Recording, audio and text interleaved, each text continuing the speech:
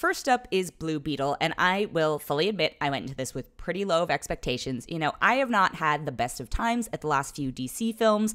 They don't necessarily tonally jive with what I gravitate towards. I think The Flash was this sort of weird outlier in that it did have a lot of humor, but it also came with so much baggage and, you know, the knowledge that these last few films are part of an era that may or may not continue was its own whole thing. So, went in with low expectations, was pleasantly surprised. Now, does that mean it's a great film? Uh, it's debatable, but compared to, I think, a lot of the more morose, dark, self serious ones that we've seen of late, I really enjoyed this. It still suffers from a lot of the pitfalls that a lot of these origin superhero movies encounter, but I think what I liked about Blue Beetle the most, and I think, you know, they are aware that this is the actual superpower of the film, is that yes, it's about the person who becomes Blue Beetle, but this one really incorporates his family and the people in it react how closer at least to how I would imagine real human beings would react upon learning that, you know, a member of their family has basically become a symbiote with a, a scarab alien technology. This is not a spoiler if you're familiar with the origins of Blue Beetle, and if not, that is the general origin of Blue Beetle. So Blue Beetle himself, Jaime Reyes, is played by Xolo Maridueña, and I'm so sorry that I probably butchered his name. I think he's fine in it. I have not seen his other work, but I, I know he comes from Cobra Kai. I think everyone surrounding him are who I enjoyed more, and I, I think that's actually very intentional on the filmmaker's parts.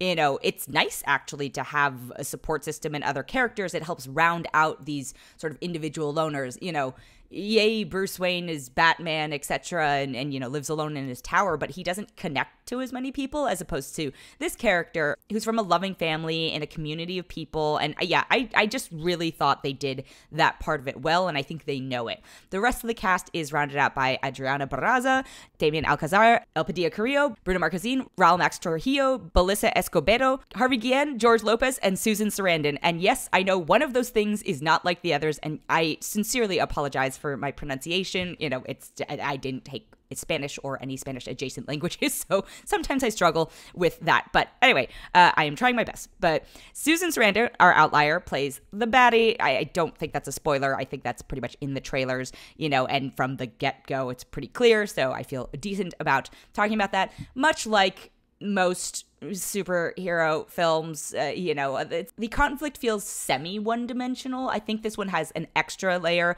of it just because of her backstory and it's a female villain and all that stuff. But like I said, the root of this movie is the family unit. And I, I also, when I saw George Lopez come on screen, I was like, oh no, he's just gonna like overpower this. But he is a really nice comedic touch to it. You know, Harvey Guillen from What We Do in the Shadows, I think, is a really nice moments in it. Uh, the whole family just really gets an opportunity to shine. And the movie, my biggest thing about it is like it runs a little bit long. It's two hours and seven minutes. I think they could have trimmed a good 20, 30 minutes out of it, but I didn't want them to trim any of the stuff with the family. I wanted them to trim some of the unnecessary, you know, fight sequences or some of the training montages of getting your powers and all that stuff. Like we've seen that stuff before, and the Blue Beetle's powers are certainly fascinating, but they, you know, it's it's almost nicer with them to just be able to be like, yeah, um, this is what's going on. Just let's just accept it and move on. But again, one of the things I enjoy the most is that everyone in it sort of reacts in a more grounded way at least to how one thinks one would react if you know this person was to join your family. There's a lot of jokes in it you know like i said i didn't actually take spanish but having grown up in california there's little bits and pieces that you kind of pick up that may or may not be like more inappropriate that i think they managed to like slide in because it was in Spanish, and I guess the censors didn't care as much about it, or it's just acceptable in PG 13. But overall, I actually had a much better time than I was expecting. I laughed at plenty of the sequences. The action is fine. It feels a little Iron Man y. Uh, I, I got kind of freaked out by the way the Blue Beetle talks because they make his face talk, which, you know, Iron Man doesn't. I don't know if that was necessary. The CG is a little bit weak at points, but if you were already potentially interested in this, if you like this genre, I think it's actually worth giving a chance to. And the other thing is, it's not as entrenched in the DC extended universe. And so you don't have to have the knowledge of everything that's been going on with Batman and Superman and Wonder Woman and all that stuff. Like, I liked that it, it was a clean origin story, you know, for better or for worse. It had humor, it had heart. It seemed like people actually cared about getting this movie done and having fun. And, you know, of course, the representation factor. And I think that helped elevate it compared to some of the other entries into the DC universe or just comic book movies in general of late. You know, I have expressed this before, but I'm I'm somebody who certainly suffering from the fatigue. So to see something that felt refreshing like this, you know, I was like, oh, okay. Sometimes it's fun to have just sort of a standalone E uh, film that doesn't need you to have 20 plus years of experience and, you know, homework involved. Like, yay. If it's done in a pleasant way, it can be a really enjoyable experience. So overall, you know, it does, it did have its flaws. I did wish it was shorter, but I'm going to give it a 3.7 out of 5. The other film I have this week is called The Monkey King, and it's an animated film out on Netflix. And oh, man, what a what a, a short film that I still also somehow managed wish was shorter. I, I was semi hopeful for this one, so I grew up loving the Monkey King, the story. I do not even remotely pretend to actually know what the accurate story was or to have retained any of it, but I had this series of books that, you know, each one was sort of a chapter of the tale of the journey to the West. This version of it is the story of the Monkey King's like origin before he gets involved in the journey to the West. And if you have no idea what I'm talking about at all, the Monkey King is one of the most famous figures in Chinese mythology. He is a monkey with powers. And, you know, he gets tangled up with Buddha sometimes and the Bodhisattva Guanyin and all these things. And he's a troublemaker and all this stuff. So it's a character that, like, especially I think as a kid, I gravitated towards. He goes on this very famous adventure in order to bring back the Buddha scriptures.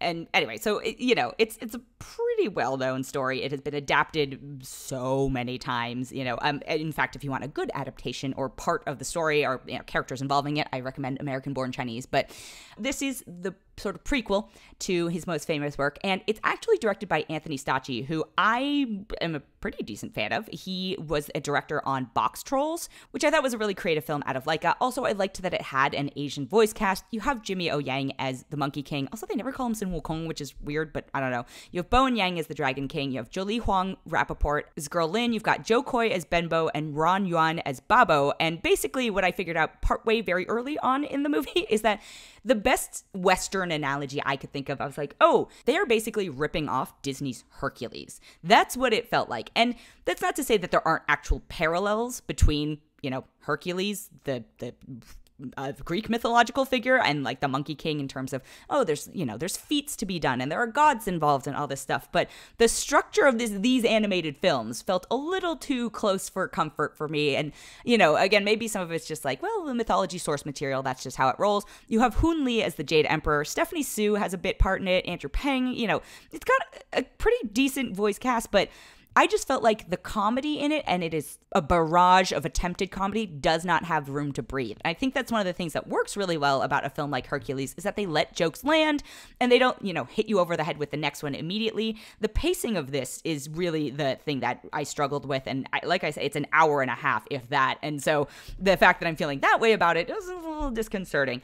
You know, I think the action is colorful, I guess is the nicest thing I'll say about it. There are also, hope this is not too much of fun. There, there, it's more of a warning. There are a lot of musical numbers in it. I feel like this movie didn't know exactly what it wanted to be, so it just threw everything at the wall like a monkey throws things um, and and not enough it stuck but there were moments i was like oh this could be funny also just again to my analogy um, Benbow and Babo are like pain and panic. You know, the Dragon King also rules over the underworld. Like it's all there are so many parallels. But like Benbo and Babo are not characters that are known. So they created them for this and then turned them into the pain and panic of. So it just it didn't feel original. It didn't feel like it had perspective. Yes, I know I am nowhere near an expert on Chinese mythology, but it didn't even feel like they incorporated some of the more classic other stories around it. You know, there are a few that I was like, oh, okay, I know the, uh, this about the Dragon King, or I know like this about this character, but you know, it, it didn't feel authentic. It didn't feel entertaining. The animation style was, uh, it felt kind of phoned in. There is actually, there are a few cool sequences that they like sort of break with the, the style of and do some interesting things with. I was like, oh, I would have much rather seen that than this sort of plug and play CG that we get a lot with films that don't necessarily have like the world's biggest budget and are maybe using an existing pipeline. And I know it's super hard to make a film. I don't want to knock it in that sense, but it felt like it maybe had potential, but didn't want to meditate enough on it and just sort of got rushed out. I will say, if you have kids, I think this might be a fine one to just sort of turn on in the background. It's not going to be their favorite movie. You're not going to necessarily want to like scratch your eyeballs out though after having watched it. Like, there's nothing that they're going to come away from it, you know, driving you bonkers with like Let It Go or something, you know. So it'll it'll pass maybe an hour and a half for them. But for me, as a childless adult, but who is a fan of The Monkey King, I'm going to give it a 2.6 out of 5. And again, I'm probably being a little bit generous.